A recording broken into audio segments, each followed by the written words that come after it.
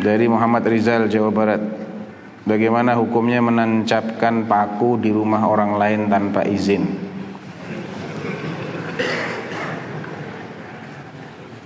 Buat apa? Kalau satu tembok, satu tembok ya, nggak apa-apa itu termasuk uh, sesuatu yang sifatnya milik bersama kan kan temboknya juga dipakai bersama gitu.